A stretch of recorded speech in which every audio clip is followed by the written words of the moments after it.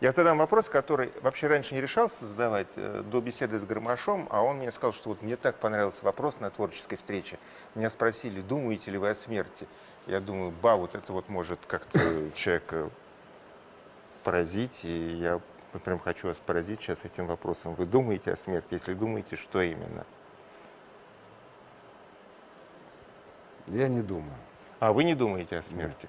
Вот вы первый человек, который не думает о смерти. Это Я хорошо. Вы верите э, в реинкарнацию или вери- верите в то, что смерти нет? И вот Я думаю, нет. Я знаю, что она есть, я ее видел много раз. Мгм.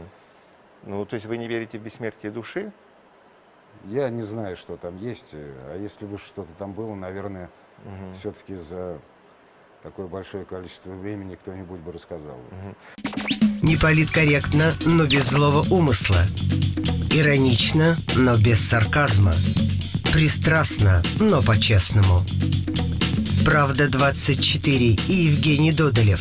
С понедельника по четверг в 19.30 на телеканале Москва 24.